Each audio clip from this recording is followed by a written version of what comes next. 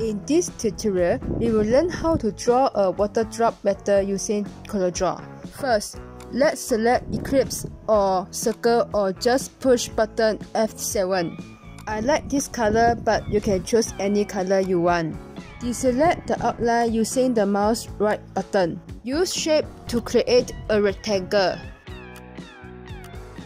Adjust it so that we have the water drop shape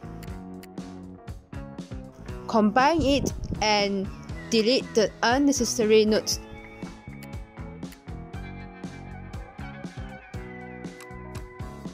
Next, I want to give it some reflection so I copy and paste the shape and then I skew it out and put it in the middle. Remember, the color of the reflection have to be lighter than the water drop. Next, I want to change the shape of the reflection. So I delete some unwanted notes and add in some notes. Then I drag the notes to the place I want it to be and then I drag the notes handle also to make it the shape I want.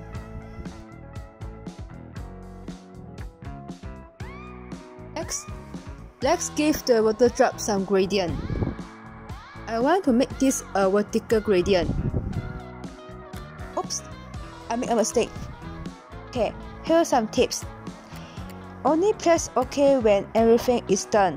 If you are not done yet, after you enter a value, simply click on another selection so that the CorelDraw refresh the value you entered just now, and then done. Continue your work anything gradient only when the gradient selection is all done, then only you click OK.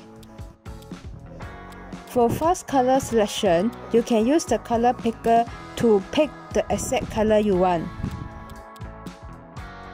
Next, I want to add some details to the water drop.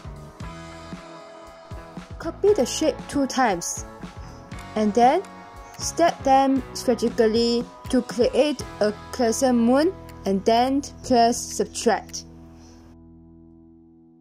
You can change the color of the object on top so that you can see it clearly.